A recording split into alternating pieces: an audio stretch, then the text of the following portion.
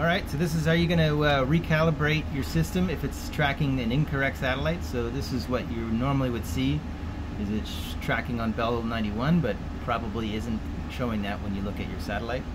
So you have to push the left button until this bottom section, DTV 101, gets moved up to the top. And that means that then you've selected the backup satellite.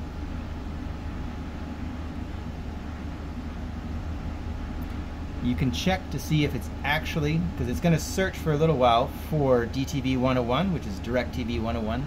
You can't use that for television. It's just for alignment. Uh, but you can see when it finishes pressing search and it'll say tracking, you can push this button in the middle and that cycles you through the different screens. When the signal strength shows a little circle beside it, that means it's seeing the right satellite and you can cycle back just by pressing the middle button over and again. So it'll track on DTV 101, but then it's going to check, see if it's the right one. If it doesn't think it's the right one, it'll search again, so you may have to wait a little while. So now it seems to be tracking again, and we go to the signal strength page, and then now it has a little circle beside it. Now you know that it is truly tracking DirecTV 101. Right? So go back to the main page again, and we want to change this back to Bell 91.